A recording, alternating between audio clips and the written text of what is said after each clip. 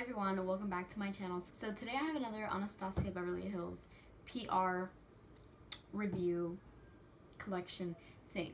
So I received the Anastasia Beverly Hills and Alyssa Edwards collection. Um, this is the PR box. I do think that they were selling some of these in the beginning, like in their first launch date, which was actually a few days ago. I didn't receive this until two days ago, which was already after it had already launched. So, so this isn't really a first impressions because I have already used this once. Um, I did my makeup yesterday and I used this and I didn't really get too much of a feeling of like how I feel about everything yet because I did only use it once. So we're to be using it again today. This is the PR box. I don't even know if this is completely in frame. I hope it is, but she's pretty hefty. So this is what comes in the PR kit if you haven't seen already, which I'm pretty sure you have. So first up here we have this nice pink bedazzled mirror that says Beast, and then we have a large kind of fan thing that also says Beast, and then right here we have the actual palette. So I'm just going to take out everything and show you guys because this is pretty heavy.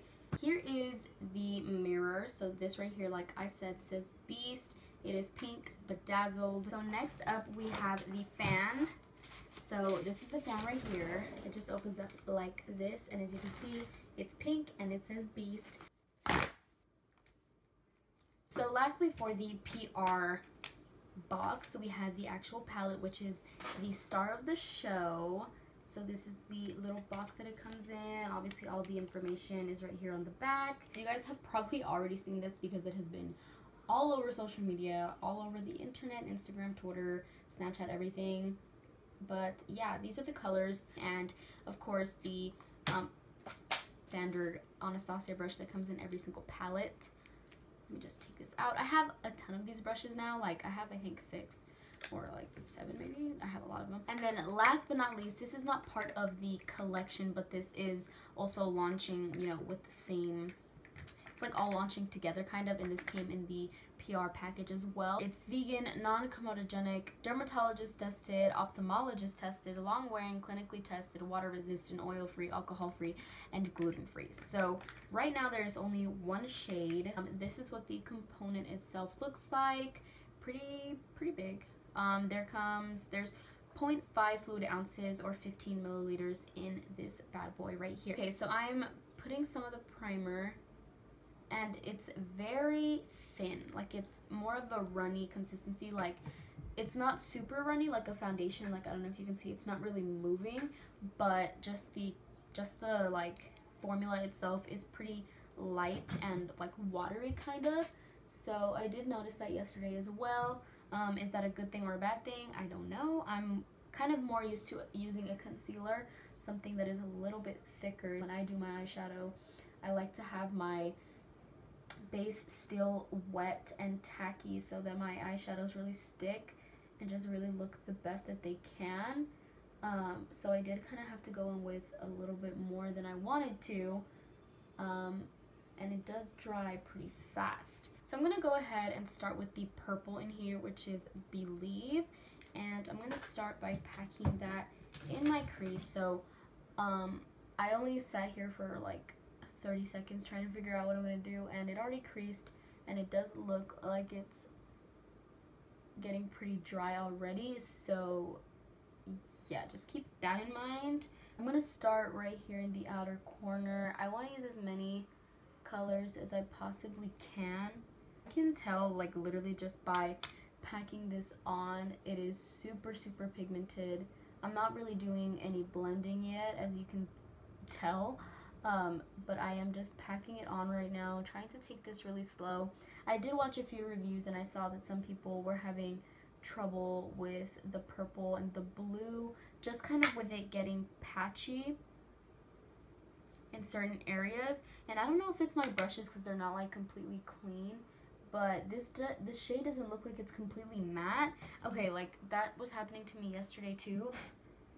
And I don't know if I like spilled something in here which I don't remember doing but this looks like the the blue and the purple look like they have some like really really tiny shimmers in there.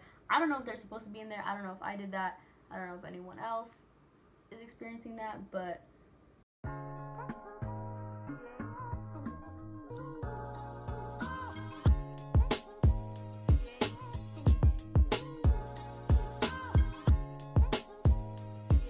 I think I'm going to go in with Texas Made, which is the bright neon pink that's in there. And when I used it yesterday, I only used a tiny bit of it, and I used it actually on my lower lash line.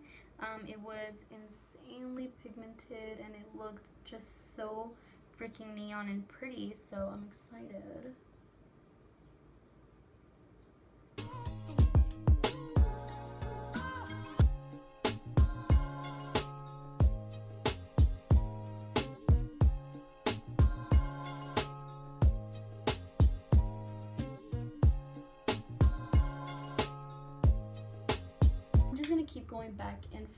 With each of the shadows and slowly start blending them higher and higher.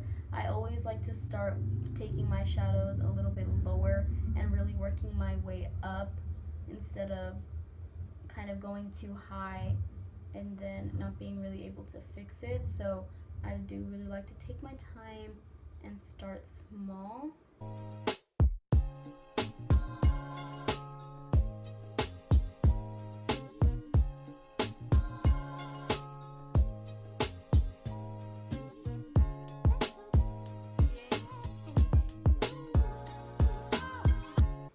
Going to take the yellow, which is Brick Road. And I've heard so many good things about this shade that, like, this is the yellow. Like, the yellow. So, I'm just going to take some on this small brush. And I'm just going to go ahead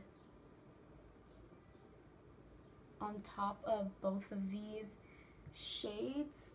So, from first impressions of using this yellow, it reminds me a lot of the yellow in the Morphe James Charles palette.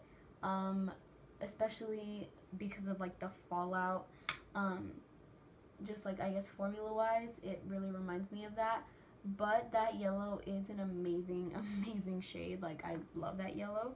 Um and this does seem like i do need to build it up a bit. Maybe if i use a different brush it'll it'll probably work a little bit differently. But i do like to use this like kind of small brush with yellows because Usually I use it as like my last blending color and I really want to be able to pack on the shadow and fit it in to a small space if that makes sense. With the pink and the purple to kind of get rid of the yellow that fell in there and just kind of blend it together even more. You never want to put your blending colors, like you never want to put your colors down and then, and then just kind of leave it at that. Like you want to keep going back and forth with your shades and that's what's really going to give you the best blend.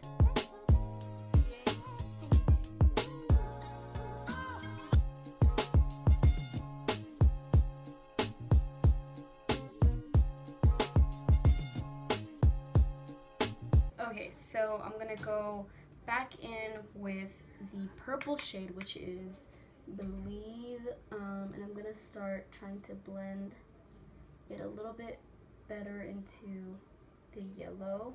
With most purple and yellow shadows I have, they will blend into each other and they will kind of make like a pink shade in between, a pinkish, purplish, pinkish shade in between. And this doesn't seem to be doing that, which I find very, very weird just because usually that would happen and it would kind of help them blend in together a little bit better. One time I did a, a look just with purple and yellow and the blend was was really nice because it looked like it had a a, shade a shade in between that it didn't have. And this doesn't seem to be doing that which I don't know if I like because it's just kind of looking a little bit weird in between. It's looking a little bit like gray or like purple like purplish grayish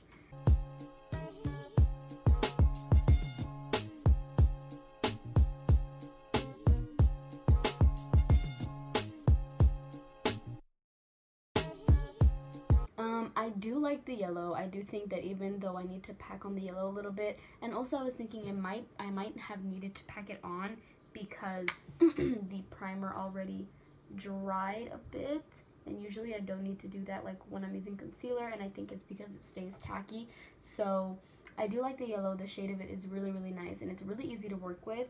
The purple is nice on its own. Like when I first applied it, it's, it's a really nice shade, but I probably would use some shades in between rather than just using the purple and then the yellow because I don't really like how it looks in between there, but we're just gonna go ahead and cut the crease. So this is the primer that I used um, to to prime my eye um, and I'm usually with like a concealer I'm it's still pretty wet and I can like use it. But as you can see that's like pretty much dry. There's like nothing left for me to use there. So this primer I wouldn't say it's drying. It just sets down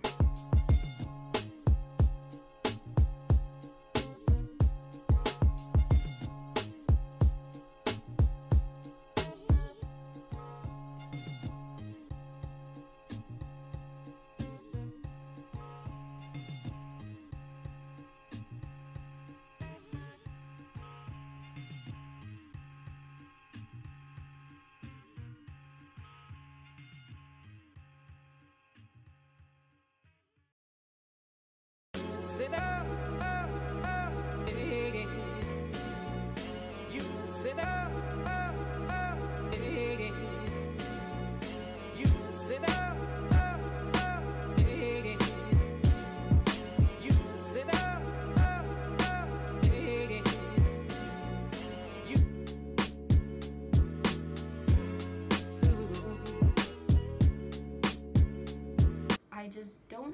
I would use this on a day-to-day -day basis or if I would use it for like looks that I'm gonna be doing you know like an intense cut crease or anything like that because it's just not I feel like it's just not working for me the way that I want it to work for me but it's not bad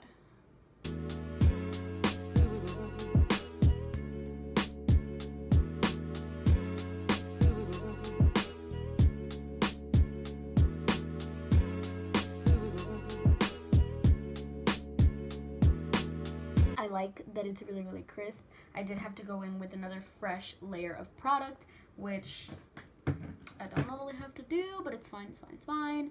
Um, so I did layer it over the concealer, or like, I mean the eyeshadow that I already had, which I don't do all the time because sometimes, most of the time I just want my cut crease to be like nice and blank, like a blank canvas. Um, but this did cover the pink shadow pretty nicely. Okay, so I'm going to use now the blue shade, which is Dream It, and I'm going to start packing that right next to the purple right there on that cut crease.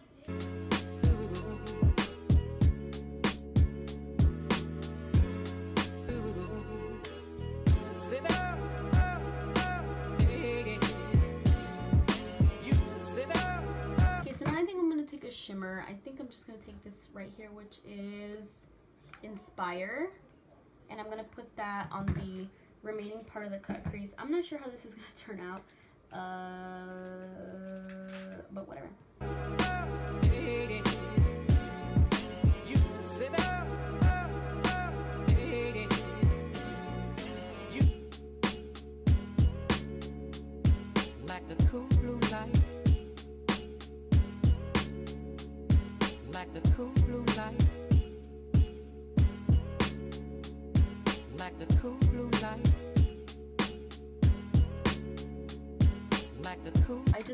A lash into the lower lash line, and that is what this eye is looking like. So I'm gonna use the same primer.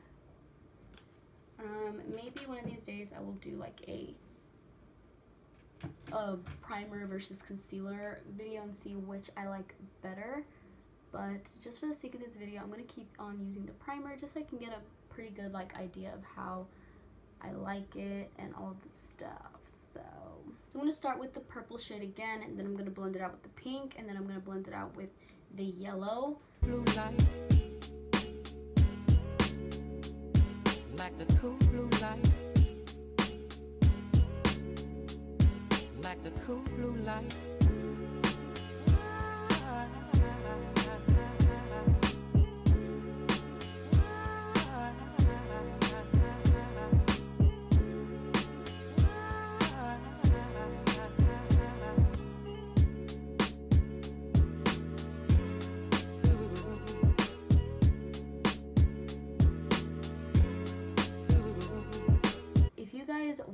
like in depth really detailed video on how I blend and how I get my colors very pigmented but still very blended at the same time.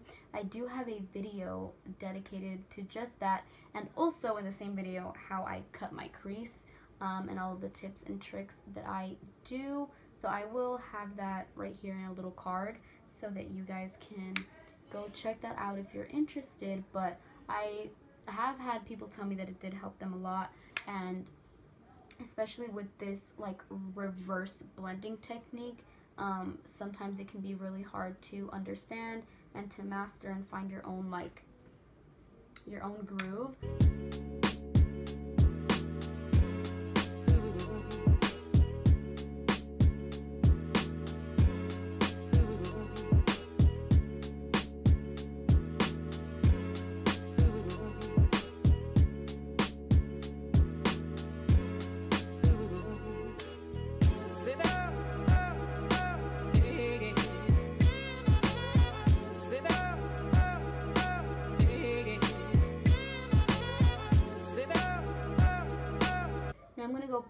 in with the pink and make sure that's still nice and intense. After going in with the yellow, the yellow kind of falls out on top of it and can kind of cover it. So I'm to go back in with the pink to not only intensify the pink again, but to make sure that it's starting to blend with the yellow as well. I'm now to go in with this shade right here, which is Beast. It is just a matte black usually I would start with the black and then go ahead with the purple and then go with the pink and the yellow. But this is just a last minute decision. But I don't know if you guys can see, but this is why I don't like to I don't like to use darker shades after I've already used the lighter shades because as you can see as I'm blending the black is just kind of blending away almost there's already so many layers of eyeshadow on here that it's just making it hard for it to like really stick and to really work. So, okay, and I'm just gonna take a generous amount and I'm gonna start doing a full cut crease. So first, I'm just gonna kind of see how high I want it to go. And we're just going to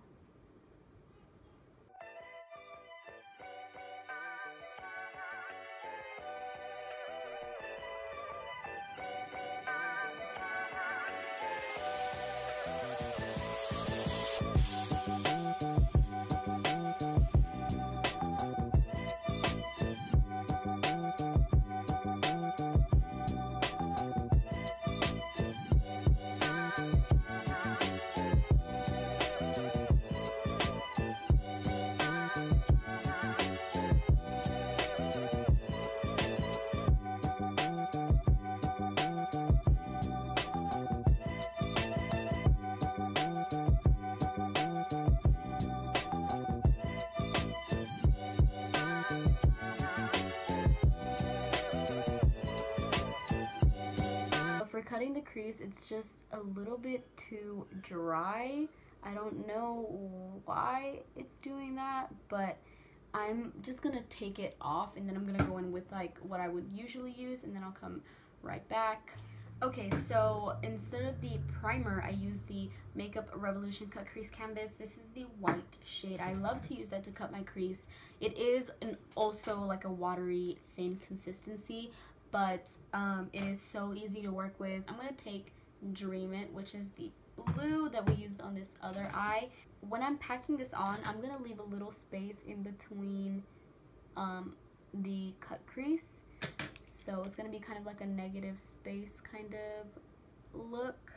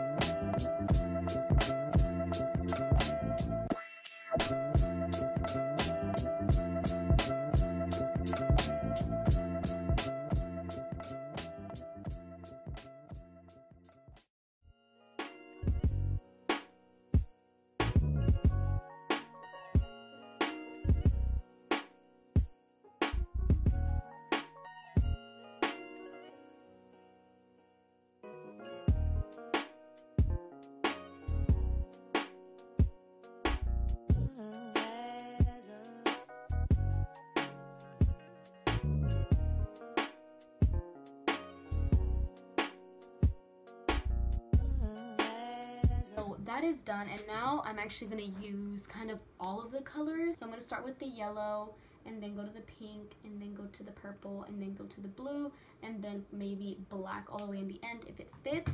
And I'm just gonna be doing that starting with the yellow and ending all the way over here. So let's do that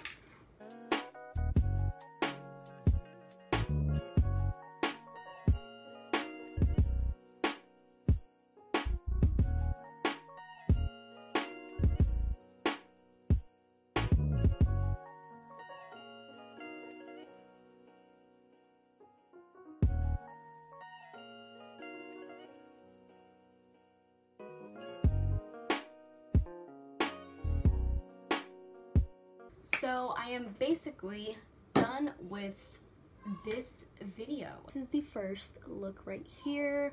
Um, this is my second time using this palette and then this right here is my second look and my third time using the palette. So you guys decide how you think it looks.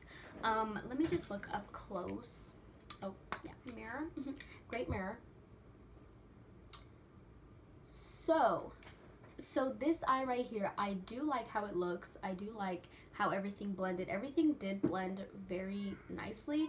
The only thing that i personally don't like which is not necessarily anastasia's fault or the fault of the eyeshadows is right in between the purple and the yellow right here i was expecting to blend it out and get like a pinkish shade in between because usually with my other shadows that's what happens. It didn't really happen with this shadow with these shadows they still blended together. As you can see they still did blend together. They just didn't make that shade in between that I was hoping for but you know it's still it's still blended and that's great. The shimmer I only used one shimmer today on both eyes. I used um, this lid shade and the same thing on my inner corners but it did work really really nicely um, so overall, everything on this eye is very, very blended, and I do like how it looks. I love the colors, first of all. Pigment, the eye primer. So the eye primer used as an eye primer, like actually just to prime your eyes, is pretty normal. It's pretty basic. Um, it does make the eyeshadows pop and it does dry down quickly and if you use too much of it it can get a little bit cakey. So I did have to go in with a few layers um, to prime my eye just because I wanted it to stay a little bit tacky and if I don't use enough I feel like it just dries into nothing. So once I started blending I started getting like two little flakes of primer that completely dried and just came off. You can't really see it because they're really really tiny but that was one thing that I noticed and then I tried to use this to kind of cut my entire crease and it was just really really hard to work with to cut the crease. Um, I feel like the formula was just a little bit too dry for my liking. It was just a little bit it was kind of tugging it wasn't really getting as clean as I wanted it to be and then once I went in with my Makeup Revolution Cut Crease Canvas it was just looking so much better. Um, I did use this at the end to um, kind of clean up that little negative space line I have in between. And it worked fine and then I set it with white eyeshadow. But um, yeah this primer it's not my favorite I'm not going to lie. I was really really excited for this and I had really high hopes. I probably still will use it. Maybe I'll mix it in with something. But um, definitely for cut creases I'm gonna stick to my Makeup Revolution um, canvas, it just works amazing for me and I really... No, okay, I'll give it a 7 out of 10. I'll give it a 7 out of 10. Um, like I said, it did make the eyeshadows pop. It obviously, I did was able to blend very nicely on top of it. And um, it is nice. It's just not my favorite. And I don't see myself using it every single day. So 7 out of 10 for her.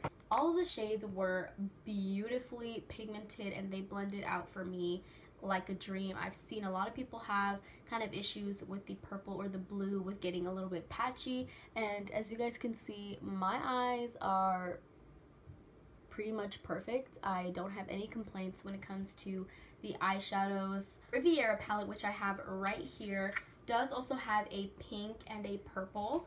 Um, and if you're someone who's looking for kind of just those shades, um, here is kind of the comparison. So I don't know, it's kind of hard to tell the comparison kind of holding them like this. But just from looking at it, the purple in the Alyssa Edwards palette does look a lot more vibrant. And the pinks, they kind of look, they look pretty similar. In the pans, they do look pretty similar but I have used both of them separately and I will say that the Alyssa Edwards um, purple and pink are both so much more vibrant than in the Riviera palette. So you decide um, if those are like certain shades that you're looking for. You decide which one you would like to get. But so I would give this palette a 10 out of 10 100% like this palette is literally freaking amazing. Um, so yeah I hope you guys enjoyed the review Please let me know what you think down below, and I will see you guys in my next video.